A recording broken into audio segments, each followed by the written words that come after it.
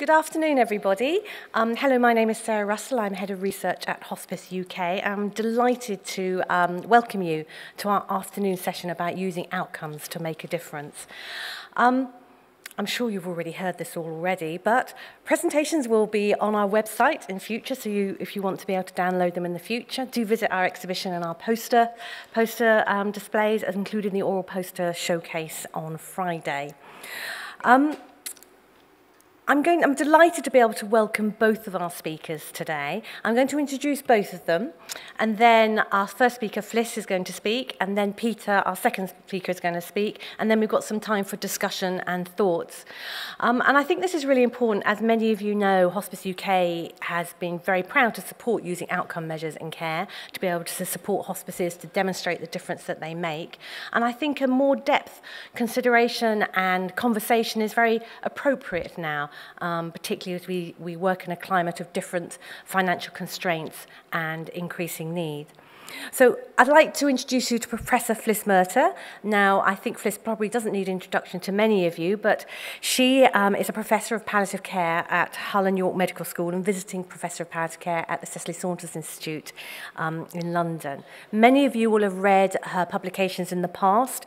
Um, she's done a lot of publication work on palliative and end-of-life care, um, including that for older people and for advanced kidney disease. And I've had the pleasure for the last year or two to work with, um, with Fliss on the outcome outcome measures of oak outcome measures suite of measures, um, which is a project funded by the guys and St Thomas's charity. Um, she's also been involved in a lot of other research projects, and she's leading the way up in Hull and York. Um, our other speaker today is uh, Dr. Peter May, and I'm also very delighted to meet Peter. I've only ever met Peter, I think, on Twitter and on conference calls, so it's glad to see, I'm glad to see you in the flesh, Peter. Um, he also is a, re, um, research scientist focusing on the economics of care for people with serious and life-limiting illness. And I think what's really interesting about Peter is about the fact that he designs and runs an analysis analyzes evaluations of interventions for patients and their families. And I think that one of the things that we're really missing these days is thinking about the economic outcomes for care as well as many of the other things that we do. So I'd like to invite Fliss to start off. Thank you.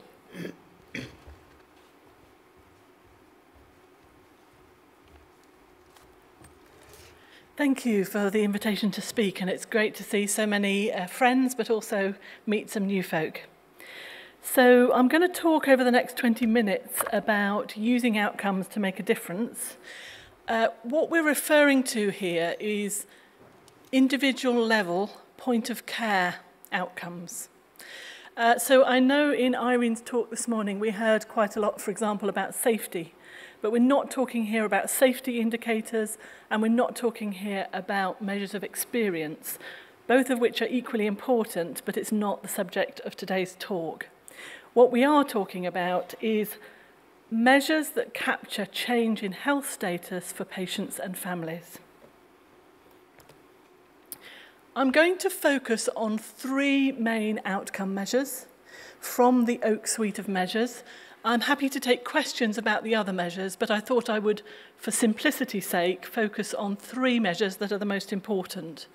The first is phase of illness, uh, stable, unstable, deteriorating, dying, and deceased or bereaved, depending on whether you're talking about it from patient or family perspective.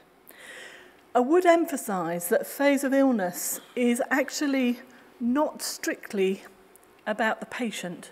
It is about the acuteness of the palliative care plan, the urgency with which one needs to address the person's needs.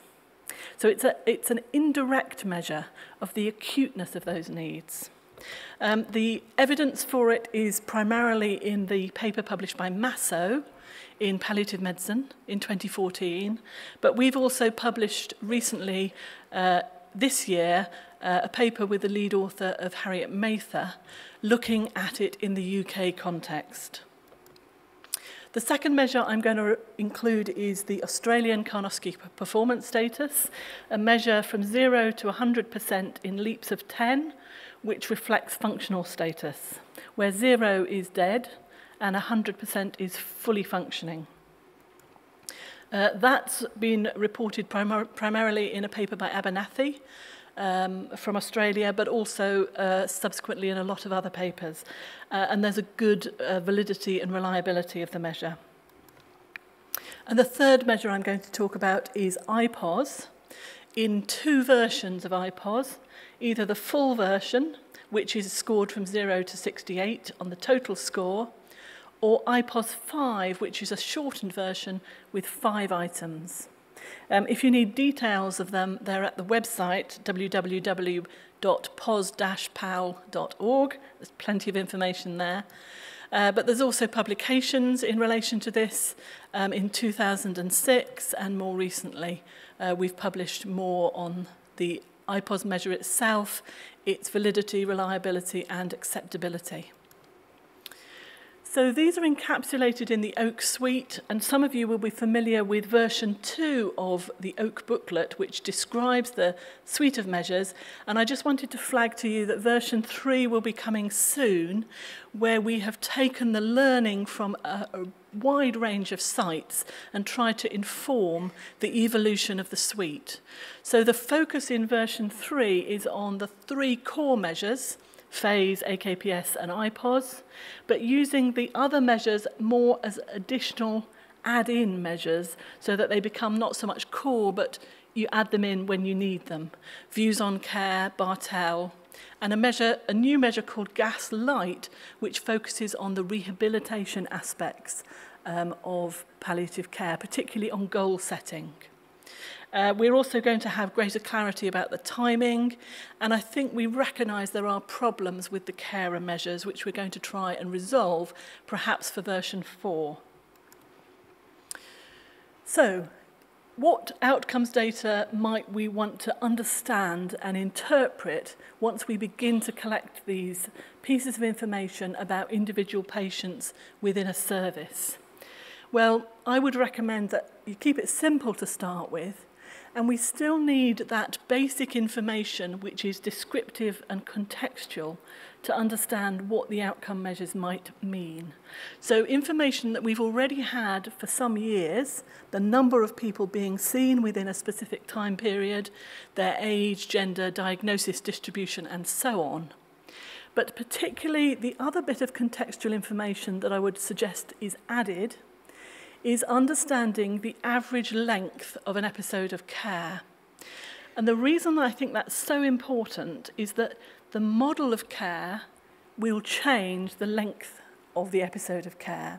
So you can imagine some community services uh, perhaps doing an early intervention might operate for a short period of time and then remove specialist palliative care services and expect a re-referral later. Whereas others might keep people on the books for a longer period of time. So your model of care drives how long the episodes of care are. And if you don't understand that to start with, it can be very hard to understand the outcome measures. Secondly, although we are calling these outcome measures, and they are outcome measures, They are used in two distinct ways, and I think there's still not much clarity yet about those two distinct differences in how the measures are used. Firstly, you can use them at first point of assessment, uh, the presentation of patients, to understand case mix, to understand the complexity of how people are presenting. And I'm sure you can see that it's really important to know of the people coming through your door, how many are in the unstable phase, what level of problem severity do they have as reflected in their IPOS scores, and what sort of functional impairment do they have. And it may be very different for one hospice, perhaps working with a cohort of older people, uh, to another hospice, maybe working with a different population. So understanding the case mix is really important. Now that's not outcomes, but it's really helpful to know. And I would say it's one of the first important things to understand. How best the three measures, phase, AKPS and IPOS are combined is reflected in the reports from both the currency testing and it will be further reported uh, from the Sea Change project which I'm leading. So look out for that information during the next year because it will help with case mix. So the second way to use the measures is not just at the first point of assessment, but to look at the change in health status over time that they represent. And this is getting really close to what matters for patients and families. They want to see an improvement in their well-being, an improvement in their pain or their breathlessness, an improvement in their function over a period of time. So this is getting close to the outcomes that we really want to use to demonstrate the impact of services. And the question arises, what time period should we measure that change over? And I would put it to you that we need to measure that change over the duration of phase of illness. And the reason for that is that if you measure it over the whole episode of care, you can see from what I've said earlier that your length of episode of care may be very variable according to the model of delivery. And so it reflects more the model of care that you're delivering rather than meaningful change for the patients. If you use phase of illness, then you begin to standardize that approach across a whole range of services, regardless of their model of care. And you will see when I refer to duration of phase that that too becomes a really important outcome. So the time period over which you measure these things is critically important and it needs to be driven by phase of illness for both clinical reasons, practical reasons, and to ensure that we're standardizing across services. The second question to arise is whether one looks uh, at the whole group of people and how their outcomes change, or by some proportion or sector or group within that, within that number. And I think the most useful ways to look at this are the whole group or the groups broken down by phase of illness. For example, if someone is in the unstable phase, it's really helpful to understand what all of the people in the unstable phase are doing over the duration of that phase. So, what should we measure? We're trying to get to those outcomes that are so important, and these are the things that are emerging from your services as the most useful things to capture. First of all, time in the unstable phase. So the unstable phase of illness is that time when your needs as a palliative patient are most acute and urgent, where the plan has to be put in place to address them quickly. You can't really wait. You're probably in a bit of crisis. Uh, you may certainly have acute symptoms and problems that need addressing today. So getting people out of that phase where things are stabilised and they're either more gradually deteriorating or they're stable is really important.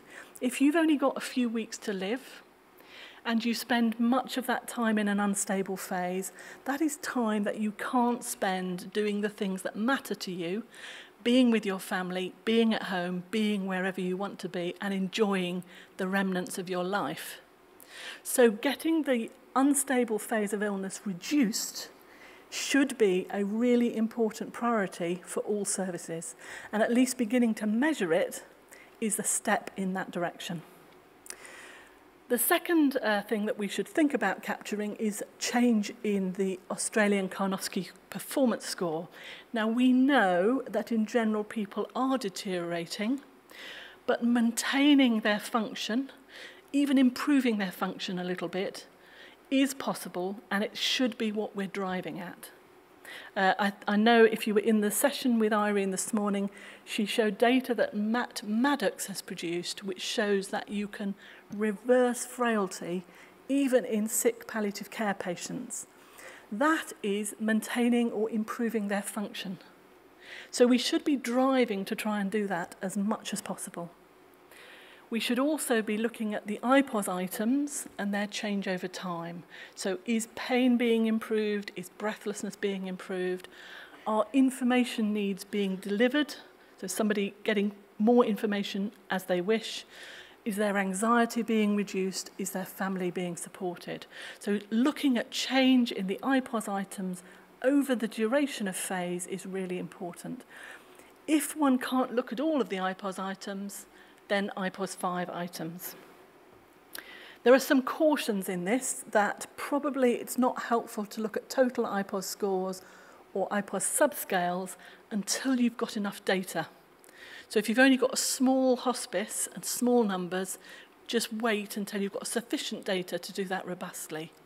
And we tend to suppress anything where you've got less than 10 people in any one category. Now that's really small numbers, uh, but it just gives you an idea what we're looking for. So we need to move towards understanding how much our services are improving pain for those with pain, breathlessness, anxiety. Are we ensuring people are more peaceful? Are we mm. addressing their information needs?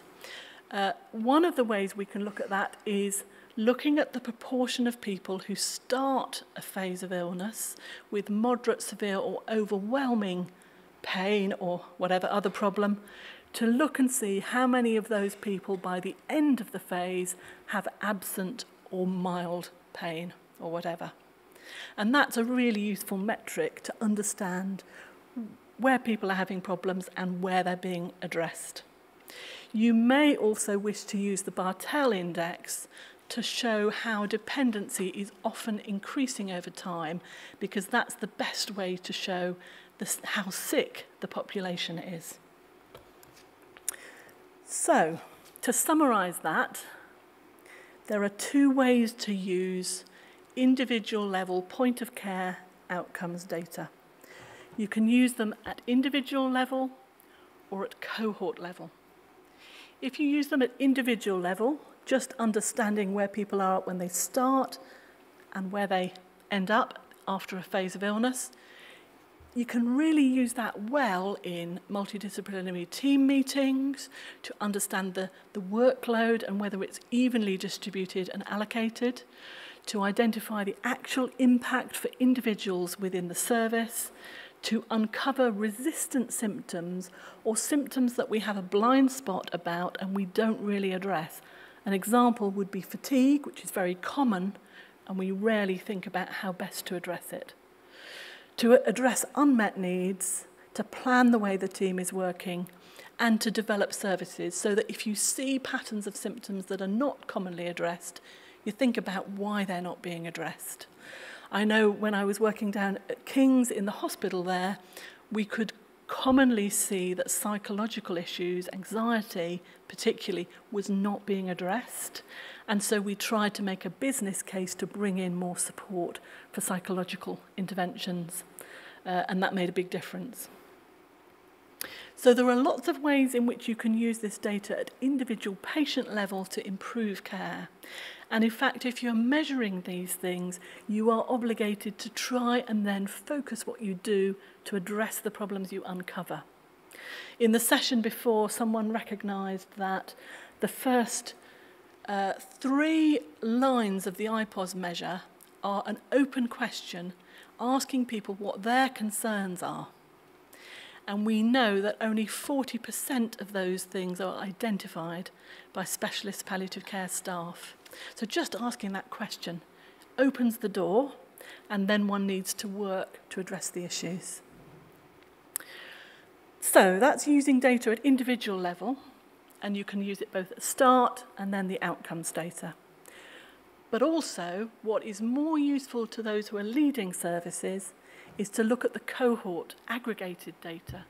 So all of the people coming through a service within a particular time frame be it six months or a year maybe, to say what is the overall pattern of problems, of phase, of AKPS in those people and how is it changing.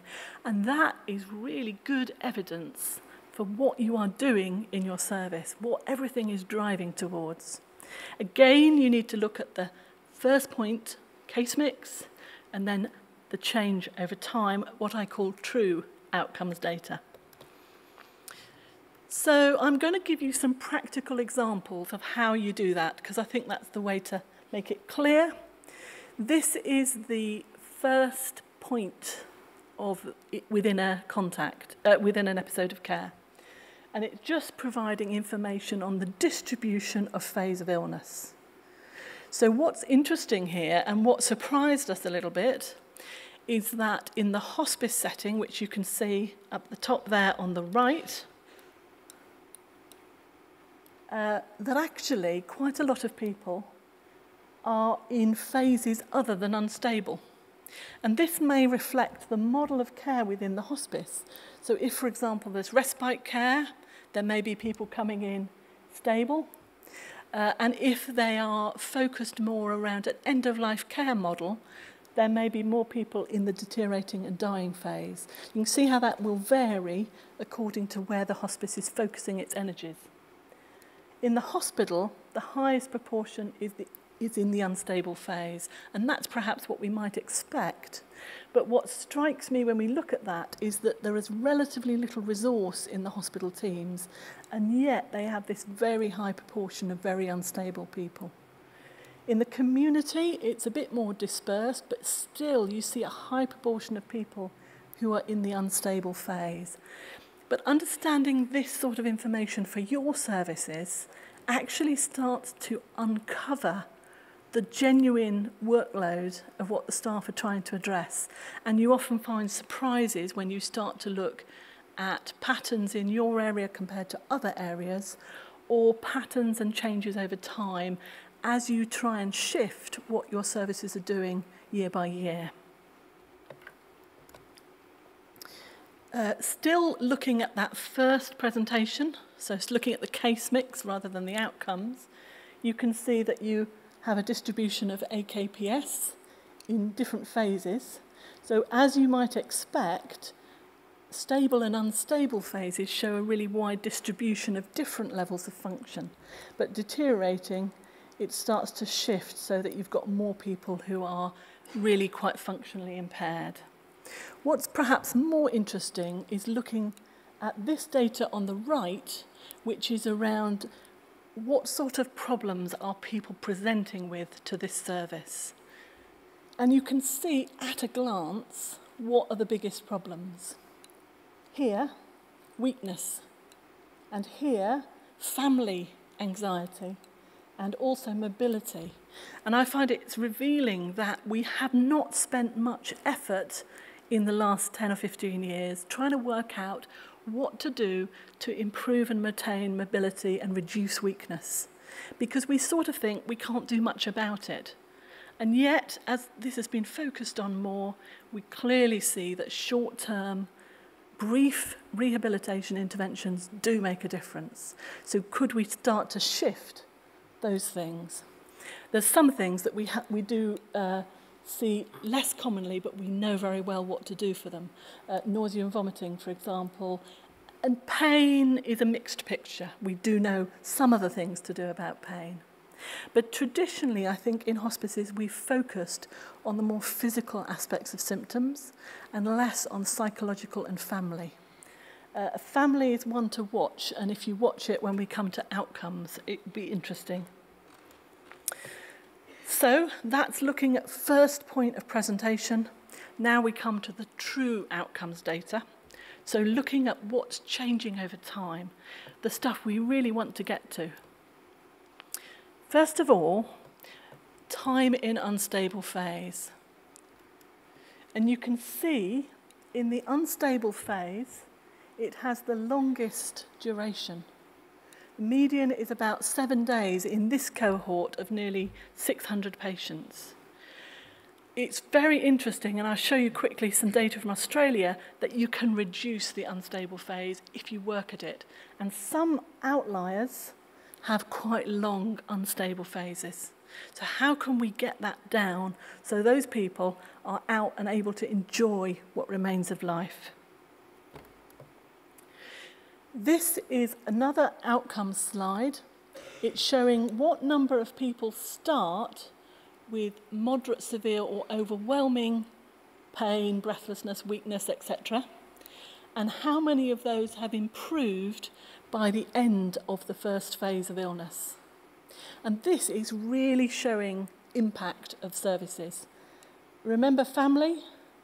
Family anxiety is A, we don't spend enough time with families, and B, you need a longer period of time over which to work with families to support and address their anxieties and their, their needs. But you can see very quickly where we make a big difference and where we don't make such a big difference. And that is invaluable for a service. You can present the same data in other ways, this is change in total IPOS score. If you're below the line, you've had a big improvement in your IPOS score. So all of these individual people have had some improvement, and as a proportion of people who've got worse. We would expect that because we're dealing with people with deteriorating illness. But this shows very clearly for people in the unstable phase, we are making a big difference as a service. You can also show it in this way, which is easier sometimes for staff to understand. People start the red line, and at the end of phase, they're at the green line. And those are the things that are improved. And you can quickly see weakness and mobility are not easily improved, as we know. But again, it's a good way to present data and really demonstrate the impact of the service. I'm just going to quickly spend the last two minutes uh, on data from Australia, and this is national data, where they've got phase distribution and they've superimposed the duration of unstable phase. And what's exciting is that working over a period of several years, they've managed to increase the proportion of people, now reaching 90% of people, who have a duration of un unstable phase less than three days. So we have got a long way to go to get to that level, but at least we're beginning to start to measure how we could uh, change that. Similarly, this is showing the proportion of people with moderate or severe pain at the start who have absent or mild pain at the end of phase, exactly as I showed you on the earlier uh, slide. And they're now aiming for 60% of people to be in that group. Uh, again, we've got a way to go, but we're beginning to measure it. So there is real value in achieving this, and I think you can begin to see some of the key metrics that will help drive changes in service and demonstrate the impact for everybody under the care of your teams. It's uh, useful at the level of individuals, and we have to respond to the recording of the measures and action it. It's useful at the level of the cohort or population within the services, measuring quality and effectiveness, describing the complexity of who we see, moving eventually towards comparisons between services, although we have some way to go for that, and also perhaps targeting specialist palliative care to the right people. Thank you. Acknowledgements uh, the Cicely Saunders Institute, the Guy's and St Thomas's charity who funded some of this work, and particularly Hospice UK, who are continuing to work with us to support this. Thank you.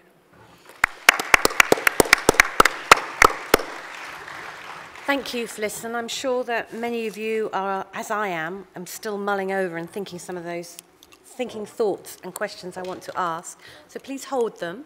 Um, I'd like to um, introduce you again to Dr. Peter May, um, because I think after both these presentations that this will give us a really good meet to have a conversation about how we use outcomes to make a difference. So over to you, Peter. Thank you. Thank you. Good afternoon. So as Sarah says, my name is Peter May. I'm a research fellow in health economics, Trinity College Dublin in Ireland. Uh, before I start, I won't be covering exhaustively all palliative care economics in the next 20 minutes, so it's worth flagging that I'm a member of a research group in Trinity that is among the most active in this area. Uh, Bridget Johnston, who's also presenting at this um, conference over the next couple of days and is in the room somewhere, is a member of that group as well. And I'll put our contact details up at the end if you have further questions or um, interested in discussing ideas, collaborations, and so forth. So this is the précis and title of this session, and I suppose I'm here really to talk about the second part, understanding and interpretation of economic evidence. I'm hoping to uh, get to that through three sections. First of all, some introductory material to just plant our feet in uh, the world of economics and uh, discuss just some basic conceptual ideas. Then uh, discuss economic evaluation of palliative care as it has been done to this point and talk about what we know about the economics of palliative care to date, and then briefly talk about what that might mean for current and future research and provision of palliative care. So first of all, the introductory topic. Um, economic, I'm assuming a fairly uh, limited background knowledge in the room. So um, from first principles, economic evaluation is interested in two things. First of all, we're interested in assessing an intervention's impact on costs. And those could be lots of different types of costs, as you see on the screen. Formal costs to the healthcare system that's easy to, relatively easy to put a pound or euro sign in front of. Also informal costs, the care, help, inconvenience to unpaid networks in the support of people, which is obviously a particularly big issue in end of life and palliative care. And the second part is measuring treatment effect on outcomes, particularly patient outcomes, outcomes like survival and quality of life. But again, in this area, we'd be particularly concerned about family outcomes, caregiver quality of life, bereavement experiences, and things like that. When you combine uh, the estimated effect on costs and on outcomes. You've got what could be broadly termed a cost consequence analysis. There are lots of different technical versions of that cost effectiveness, cost utility, cost benefit, and so on. Um, I'm not going to bother detailing those differences. They're all based on the same idea, which can be conceptually illustrated um, with this map. So once we evaluated an intervention's impact on cost and outcomes, it ends up somewhere in this one of these four quadrants, you uh, can map the effects on costs on the y-axis or the vertical axis and the effects on outcomes on the horizontal x-axis. And you can see that uh, those treatments then up in the southeast quadrant are what are known as dominant strategies. So they're more effective than the alternative and they're also cheaper. So you really are foolish if you don't immediately pursue that idea. Conversely, the northwest quadrant, uh, the strategy you're looking at is both more costly and less effective, and you would be stupid to do it. And really, where all of the decisions are made and interesting discussions are had are in the northeast and southwest, where you get a bit more but you have to pay a bit more, or you save a bit of money but you get less for that money. Why do we do this? It's a question I ask myself every day. Uh, the answer is the eternal fact of scarcity. So, scarcity is uh, nothing to do with whatever the uh, available health budget is. It is a fact of life that the demands for all of the resources that we have will always exceed what we're able to do and provide. And so the corollary of that is that we have to make decisions to fund some healthcare interventions and not others. And critically, every decision has what economists call an opportunity cost. That is the cost of the next best option, the cost of the road not taken. So every time we spend, for example, uh, we ask a government to spend money on palliative care, they may well wish to do so, but that's money that can no longer be spent on child vaccinations, hip replacements, or even more outside of health in secondary education, police, and so on. If this all seems a little uh, abstract and technical for the humane and people centered world of palliative care, it is worth emphasizing as well that really uh, all of us, whether we realize it or not, engage in a form of economic evaluation every day because we're all faced with finite budgets, both in terms of financial budgets, but there's only so many hours in the day both at work and at home. We have to make decisions to do some things and not others, to buy some things and not others.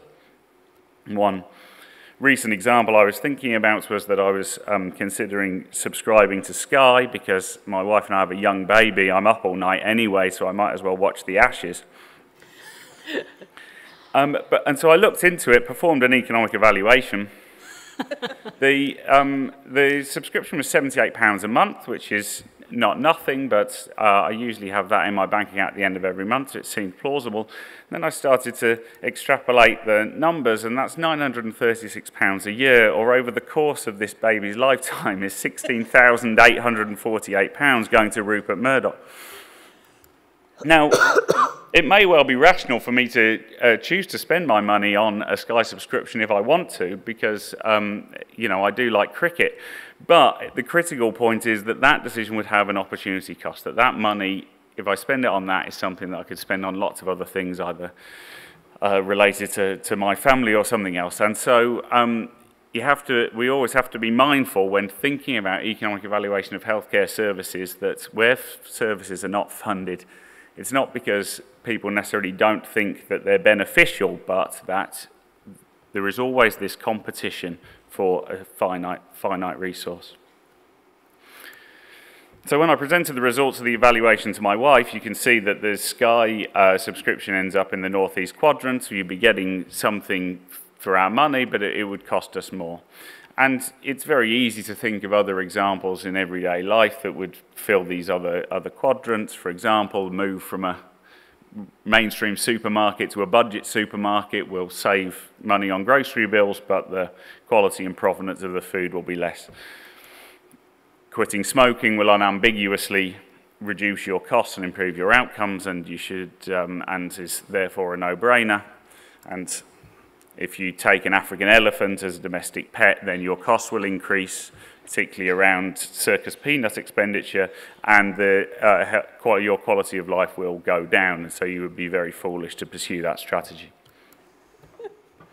So what I've tried to emphasize in this opening section is that the principle of economic evaluation is that we want to know what are the impacts of our available options on both costs and on outcomes. And we do this not out of some kind of uh, utopian managerialist ideal or because um, uh, there are simple, easy answers or that economics should be the only factor in making these decisions, but that really economists are people too, and like everybody else, we are interested in ensuring the best care for the greatest number of people.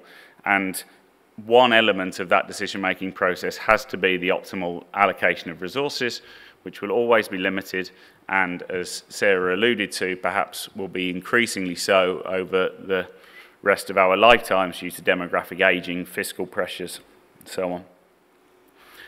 I've also tried to emphasize that while this is abstract and in practice is very complex, um, in fact, not, it shouldn't be completely alien even to non-economists, that the principles and the practice of this are really the uh, intuition of everyday life. And the, the final points that I want to emphasize is that perspective really is important in terms of time frame. So the difference between thinking something costs £78 and £16,000. So if, when we do something like uh, evaluating the impact of an intervention on health-related quality of life, you might do one or two measures at three months and at six months, for example. But because money adds up in the way that the Sky subscription example shows, it's really only all of the costs over the relevant time frame of analysis are really the only thing that is worth anything. The other thing about perspective, which I haven't had time to work into this presentation, is who is paying these costs. And the classic example to when teaching to undergraduates here is the idea of a, a, bar at a wedding, that if everybody has to pay for their own drinks at a wedding, then consumption is at a certain level. And if the bar is free, consumption is at a different level. And the difference between those, that, that the cost difference between those two is passed on to uh, people, passed on to a third party, whoever it is, the uh, uh, bride and groom who are uh, footing the bill, but they don't actually get any of the any of those benefits. And it's always important when we're thinking about healthcare where there are so many potential different payers to bear in mind, well, whose, whose costs are we actually talking about?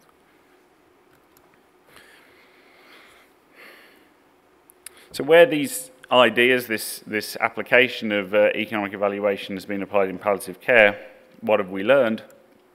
There are three systematic reviews that probably cover more or less all of the relevant evidence. Um, they're all 2014, so probably finished 2012, so all probably due for a, an update, but this is roughly still um, uh, you know, highly representative, I would say. So the first is Samantha Smith and colleagues uh, from Trinity College Dublin, and uh, their, theirs was in palliative medicine in 2014, is the best known of these, and that looks at palliative care in all settings. So any economic study of any anything calling itself palliative or end-of-life care, um, they found 46 papers and a consistent cost pattern of cost saving, but you can't really say uh, put, put numbers on anything because there are so many different interventions and populations under the palliative care umbrella. Then there's a review I did with colleagues in America of the US model of um, hospital inpatient consultation, and that has much more homogenous evidence base because the intervention is essentially the same, the population are much more similar, and that has finds very large cost saving magnitude of around 20%. And the third is Langton um, and colleagues, which is an Australian team, and they looked at what's called countback or uh, retrospective decedent studies, so looking at a finite period at the end of life, X weeks or months before death, and comparing uh, those who received palliative care with those who did not right at the end of death. They found a very large number of papers and increasing use of that design, so I dare say if it was rerun, there would be perhaps 200 of those now. If you take those together, there are two essential take-home messages. The first is that palliative care always seems to be associated with lower costs, but the second is that there are really big knowledge gaps um, on almost all, all major field, fields of interest. And particular concerns would be the limited scope of inquiry. So I talked a little bit about the importance of time frame in the introductory section. As people are living longer with multimorbidity, uh, living and dying with serious illness, as we like to say now, looking only at short periods before the end of life, not really representative necessarily of the, uh, the treatment of seriously ill people um, and the entire trajectory of care for which palliative care would like to be involved. short hospital inpatient admissions, of which there's a lot relative to other types of, of interventions. For example, I don't think there's any of inpatient hospice. Well, that's not, uh, inpatient hospital care is not really representative of treating um, serious illness over the disease trajectory either. And equally critical limitation is the perspective. So we tend to be relying on where data are routinely collected. So there's a lot of hospital studies because hospitals routinely collect costs. So it's relatively easy to do those analyses. Um, informal care, that is those costs uh, uh, and hours put in by family members and the out-of-pocket costs they pay, uh, there's very few studies of because the only way to get that data is to recruit a large number of informal carers and get information over a long period of time about their spending and, and care habits. Similarly, if you look at something, uh, another big policy question would be institutional uh, to community or home care switches. That's a very difficult analysis to do unless you get a lot of data because the routinely collected stuff is just the housing uh, things, but there's a lot of other relevant costs involved. So it would perhaps be more accurate to say that palliative care is associated with lower costs for the cost that we routinely collect. When it comes to outcomes, the, um, the x-axis part of the figure, there's really very little in the economic literature. Instead, what people tend to say as well, there's a fair amount of evidence out there, some of which um, uh, Fliss was talking about and alluding to, that palliative care is associated with improved outcomes in this domain and that domain, and therefore, if there are cost savings, then they must be a good thing. Effectively, we're in the southeast quadrant. We're more effective and less costly than the alternative, and it's a no-brainer. Where outcomes have been measured, it becomes very, very complex. Uh, Bridget's PhD work looks at some of the things that uh, need to be measured, should be measured, and how you measure those, even among, for example, if we're interested in both patient and caregiver preferences, they may be uh, very different things and uh, difficult to uh, uh, make, make coherent side by side. And for those people who are more familiar with this literature, you'll know that there are, there are fundamental methodological questions about how you integrate economic evaluation of end-of-life care in other, comparing it to, for example, child vaccinations or hip replacements is a, is a uh, technical methodological minefield. So really, what is perhaps under under discussed in palliative care is the limitations of these evidence. This evidence base is fairly serious for policy influence. The fact that palliative care is not provided as widely as we'd like is not wholly down to the irrationality and stubbornness of policymakers because those, uh, those studies that have been done only look at certain phases, certain perspectives. Those inpatient stays, the end of life phase, are not all that uh, policymakers are really interested in. Even where we see small changes to formal care systems, for example, work that I've done in the United States has shown that it's not really reducing intensity of care that brings you the hospital cost savings, it's people leaving earlier, short, um, short hospital stay, expedited discharge, thanks to goal of care discussions and so on. Well, that's great, but it does really suggest even more than, uh, than previously we worried that if they're leaving hospital earlier, well, where are they going? Those costs potentially are being passed on to other parts of the system that simply aren't uh, being measured when we only look at the hospital silo. There's whole questions about, well, what even is palliative care? Um, is obviously not one thing, but many different combinations of things for many different populations. And so the catch-all sentence that palliative care saves money is, I think, overly simplistic and uh, self, uh, well-informed policymakers understand that. Um, and there, were, there are other, I've not made this too research heavier presentation, but there are very important issues here around selection bias and methodology. We have hardly any randomized control trials in this field, and perhaps with good reason. But in observational studies, if you're looking who comparing people who get palliative care and who don't in hospital, people who get palliative care don't at the very end of life, they may be different groups in ways. Those differences may be very hard to control for. So um, there are a number of concerns that would lead us to say that the widely touted sort of figure of substantial cost savings is almost certainly an overestimate because it looks at narrow episodes of care, the point where palliative care is able to make the most difference, um, and possibly misleading altogether if those cost savings are passed on to other people. It may instead be that we're in the northeast quadrant and the palliative care is uh, better, but it is going to cost a little bit more. Um, and that isn't necessarily a problem, but it just means that we have to start thinking about palliative care and research approaches to it in a more sophisticated way. So these are the key points that I want to hammer home on the, on the economic evidence to date. There is this fairly consistent pattern of cost saving, and actually this evidence has had, uh, particularly in the United States, has had a, a very large and demonstrable policy impact. But where services are underfunded or not universally provided, that is not always down to um, bad decision making. It may also be due to legitimate concerns over the current scope of evidence. And the narrow perspectives we have may not give us the full picture. Once we get that full picture, the argument may be stronger, and I think selection bias is always, always a concern in these populations. Um, all of us really would want the health system resources to be used in the best possible way and that in particular this idea of costs being shifted from for example hospitals to uh, patients and families is not something that's going on or at least not without us understanding about it and giving the appropriate support to patients and families uh, where that is necessary. So what can we say that this means for now and into the future? I think that it is, as I say now, a truism almost that palliative care is associated with lower costs, but it is important to be aware of the limitations to the budget, um, limitations rather to the evidence base, and aware that um, getting access to increased budgets is going to be a challenge because of the fiscal pressures that are there and the fact that um, the competition is always going to be fierce from other perhaps more better established and more simple healthcare interventions.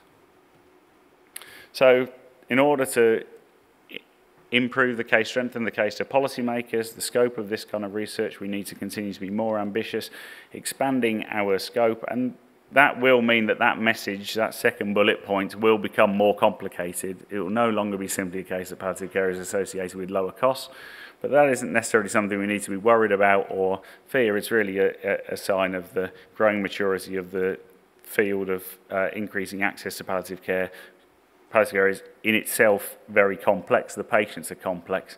It, it makes sense that the evidence is not completely straightforward.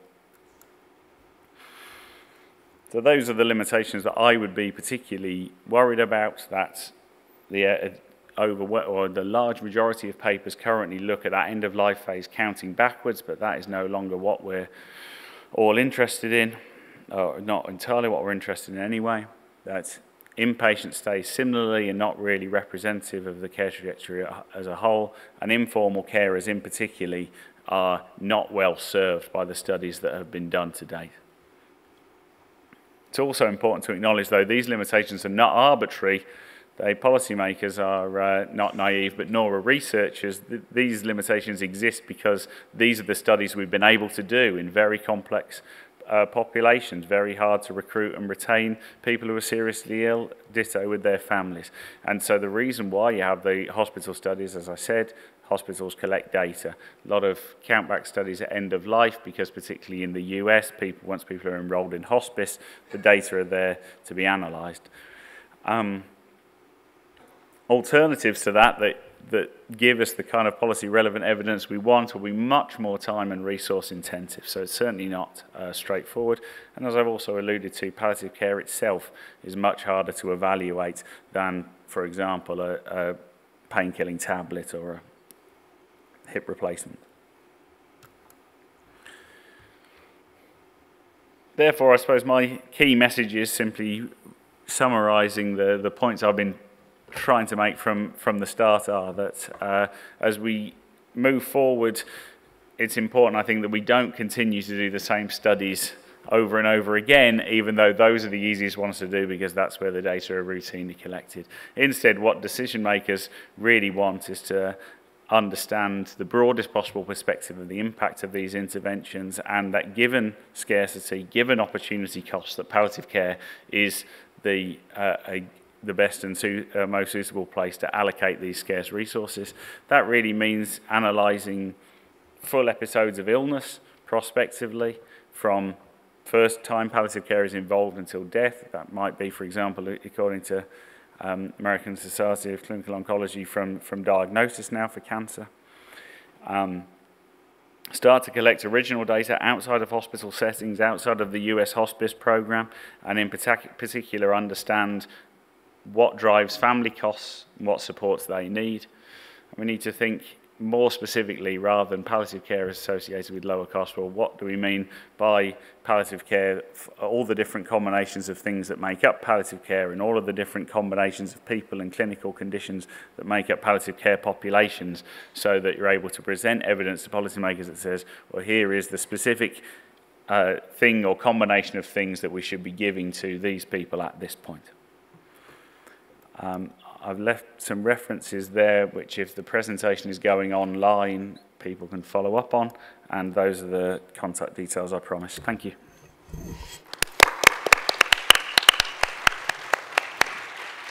Goodness, I've learnt some new words. Thank you, Peter.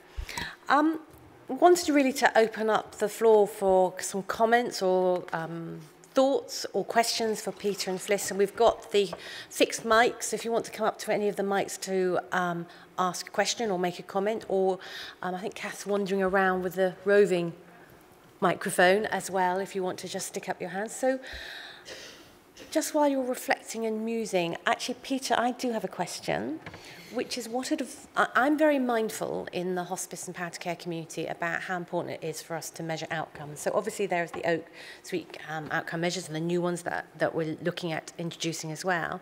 But economic evaluation is always tricky.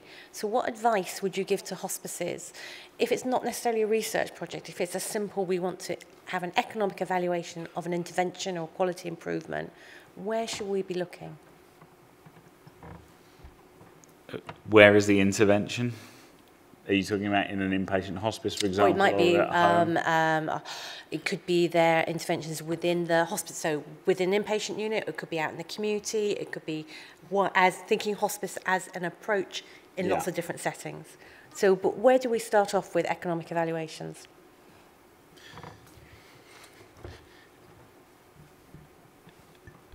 Well,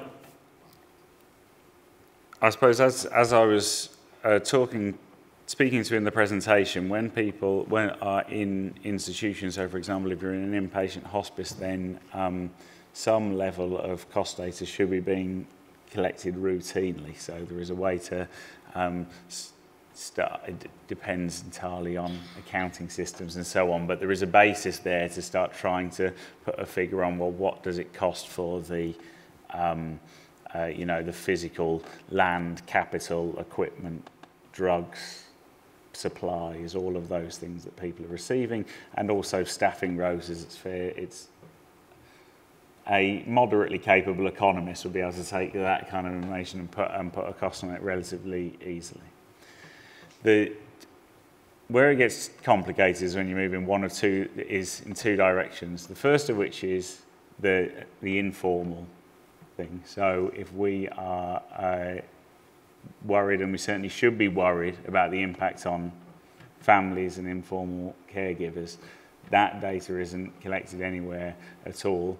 So if hospitals are interested in quality improvements, it's obviously that is a research project to get those data, but I suppose to be at least aware that that is a really important part of it and that can only be answered really by original data collection.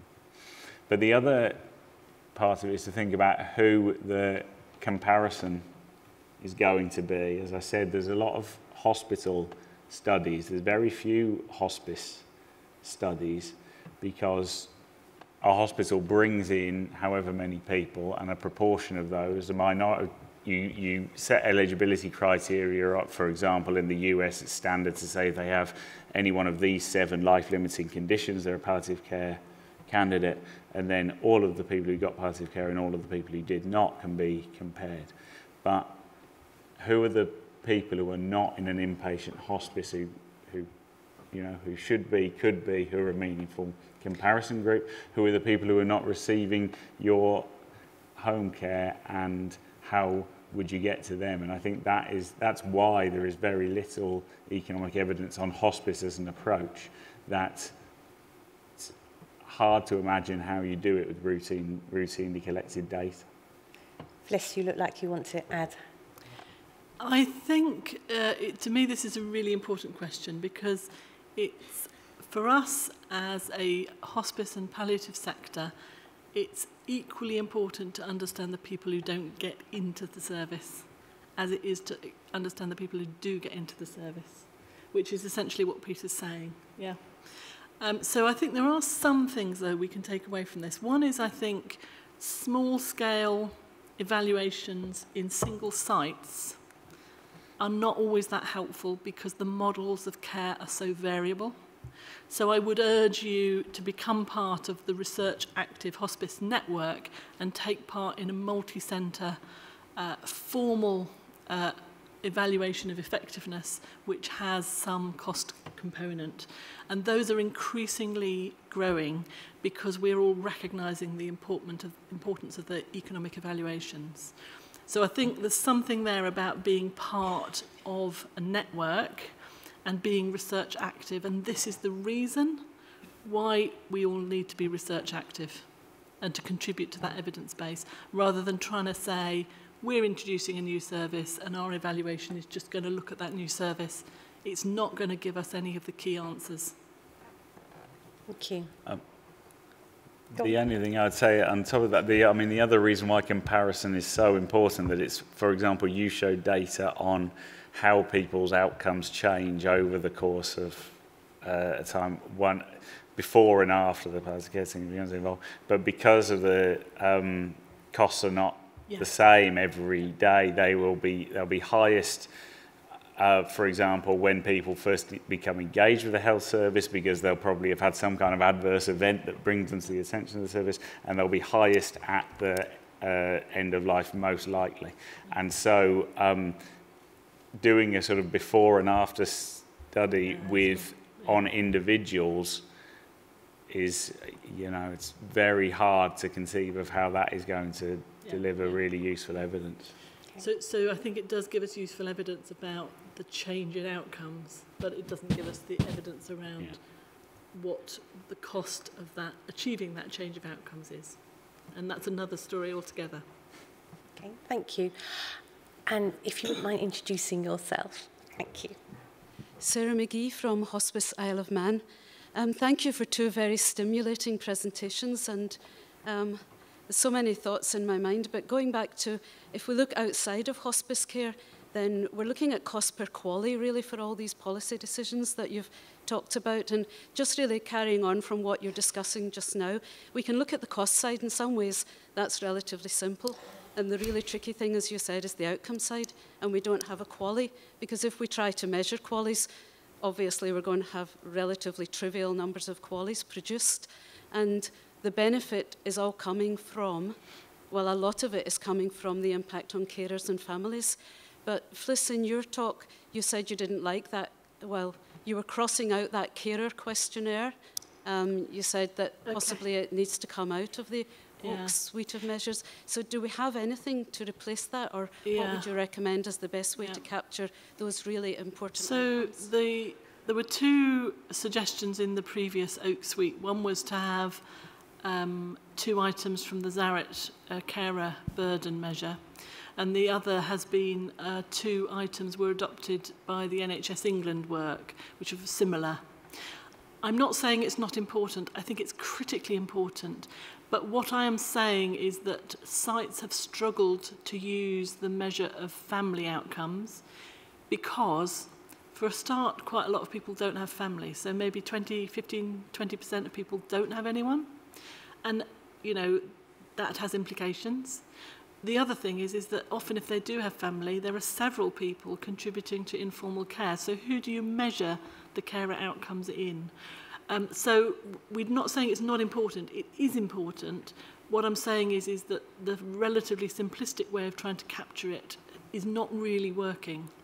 And I think um, I would really dearly like to work with uh, people like Gun Grande, who's speak, speaking later um, from Manchester, who's kind of done a lot of work developing the CSNAT uh, in this area to assess carers' needs, but I think we need to do more to understand how we can capture the outcomes in relation to families.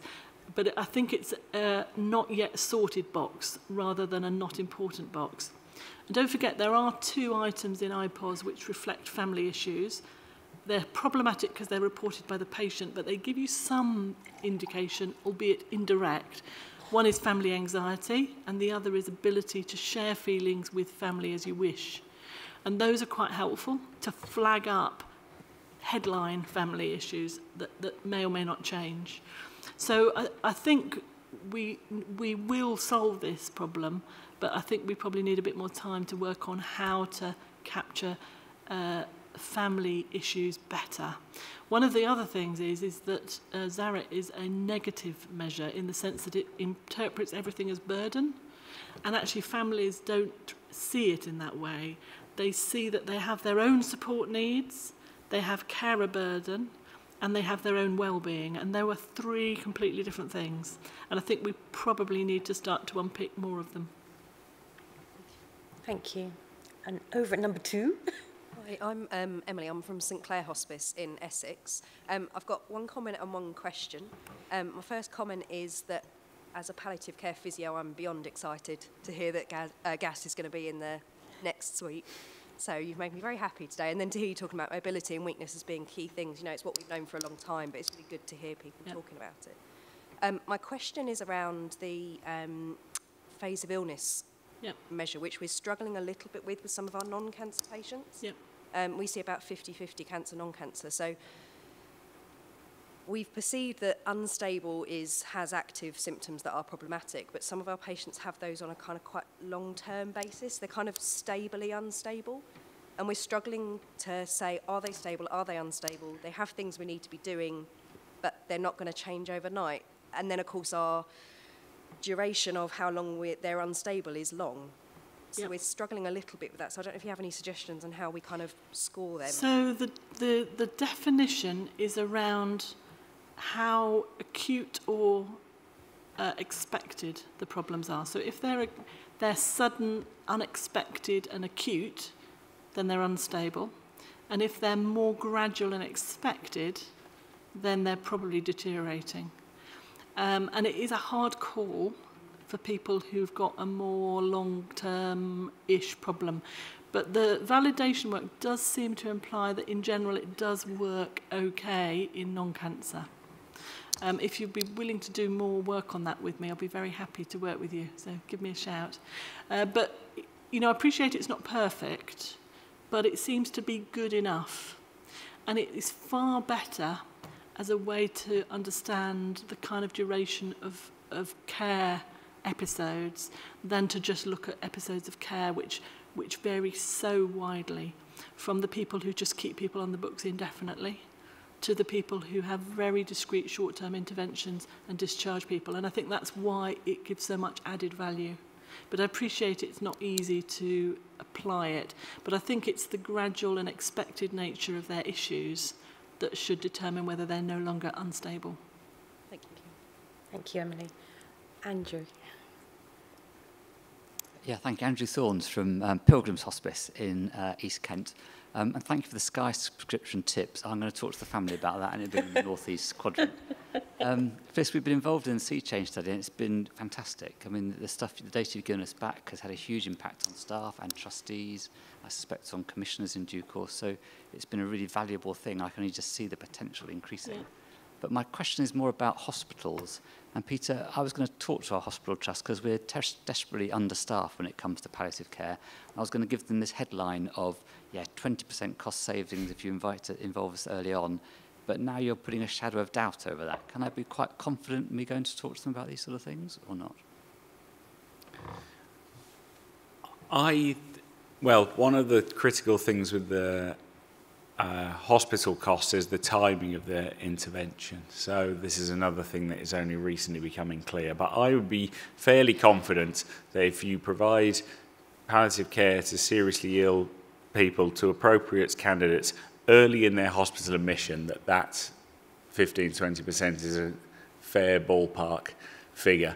My concern is that that is not re representative of the uh, treatment that people need across their disease trajectory. And so we shouldn't be completely wowed by and focused on what is a very sort of impressive headline finding, but only looks at one narrow, essentially unrepresentative episode of care. So I would strongly encourage you to do exactly that within the hospital uh, to increase palliative care activity there, but I would also urge you to think about what is going to happen to those people once the palliative care team becomes involved. They get a good expedited discharge and make sure they remain on a good pathway from that point.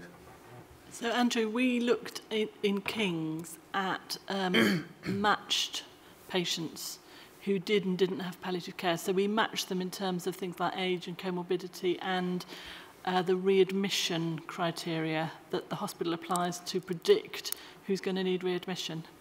Um, and that was really interesting because it showed very clearly that if you had early palliative care, the number of days of stay reduced and your cost reduced. So if you just want to make the argument to your hospital trust, you can make the argument quite convincingly.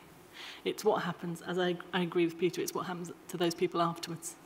Because if they land in community services where there's no social care or just not enough, social care or not enough informal care problems. Thank you. Are there any other comments or questions? So before we finish up, Peter and Fliss, could I ask you what's the just one thing that you would advise us?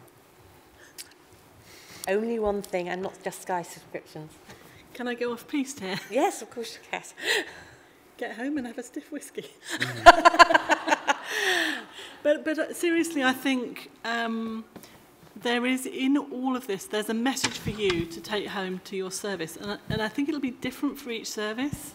But just think it through and think what it is you want to take away and put into practice, uh, even if it's as simple as saying, I'm going to link up with other people to do my next economic evaluation. Peter? Yeah, I think it has to be to think think about it carefully and uh, talk to an economist or two rather than it being straightforward to uh, race out and conduct with data that you have on an Excel spreadsheet somewhere. The you know the analysis that delivers the kind of evidence we want. It, um, it's going to be a slightly longer, more winding road than that, but one worth travelling, I think. Can I suggest something else? And the other thing is sign up to Hospice IQ. I hope Sarah's going to say that. so um, I just wanted really wanted to mention before we finish and thank our speakers is the um, Research and Outcomes Community of Practice, which includes a monthly newsletter and being able to access the Hospice IQ forum and dis, uh, discussion forum and resource forum. Now we've deliberately put research and outcomes together because I think that we felt that, that there's a very similar audience, but also we have very similar questions going on between us. Um, so we've started the monthly newsletter this week, and the aim of that newsletter is to provide regular things which are of use and of interest to you. It may be something like a research conundrum or an outcome conundrum, so like the question about IPOS or a question about, in the research world, about maybe indemnity, so that we can get a question that is common to all of us and that several people have answered to say this is how we've resolved it in our setting, for example. It could be about what is the upcoming research that we really want you to be able to look at.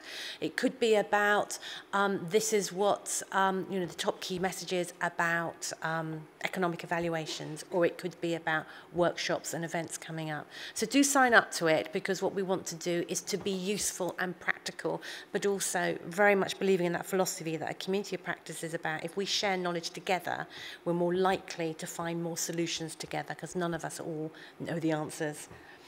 Um, so on that note, I'd like to um, thank um, Fliss and, um, and Peter in the traditional way, but also to say that my take-home message is about, from Fliss in particular, is about the importance of a rigorous and systematic collection examining of relevant person-centered data.